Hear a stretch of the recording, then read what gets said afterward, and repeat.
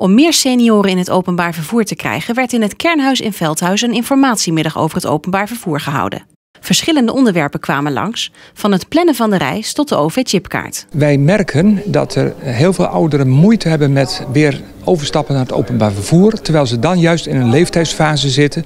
Dat het autorijden soms niet meer gaat of ze durven het niet goed meer.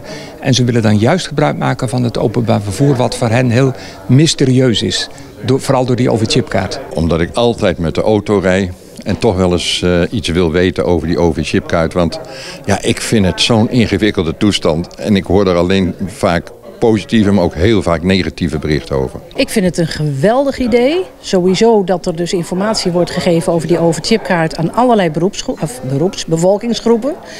Uh, ik vind het alleen heel jammer dat er zo weinig mensen zijn. Over het algemeen genomen zijn, is er uh, uh, aardig goed animo. Vanmiddag zijn er niet zoveel, maar het is ook de eerste keer dat het in Ede plaatsvindt. Dus dat zal een reden zijn. Maar uh, het gebeurt regelmatig dat met 50 mensen zitten, soms minder. En uh, de animo is dus toch wel, toch wel redelijk groot. Yvonne van Geel is betrokken bij buslijn 6. Die dreigde ten onder te gaan omdat weinig ouderen het openbaar vervoer gebruiken. Zij zou graag zien dat er meer informatiemiddagen op verschillende locaties komen. En ook de, naast de Klinkenberg, ook Belvedere en al onze andere locaties van uh, buslijn 6 zijn er heel erg bij gebaat.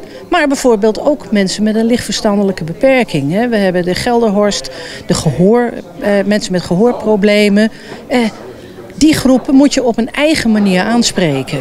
Tijdens de middag werd er verschillend gereageerd. Er waren mensen bij die naderhand nog niet overtuigd waren, maar anderen stelden hun mening over het openbaar vervoer bij. Nou, het wordt wel een beetje duidelijker, alhoewel ik nog niet helemaal tevreden ben.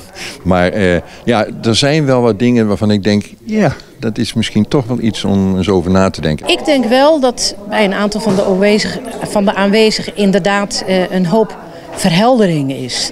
Dat mensen een idee hebben en dat het idee nu duidelijk uh, ja, wordt weggenomen. De mensen die willen kunnen in juli met een proefreisje mee, zodat ze onder begeleiding het openbaar vervoer kunnen ervaren. Reacties zijn uh, tijdens een proefreis zijn over het algemeen genomen heel positief. Dus vaak begint men als een bang vogeltje achter je aan te lopen met die overchipkaart in de hand.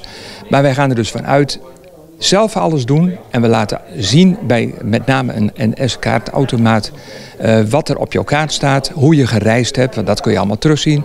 Heb je wel goed ingecheckt en uitgecheckt, zodat het allemaal klopt.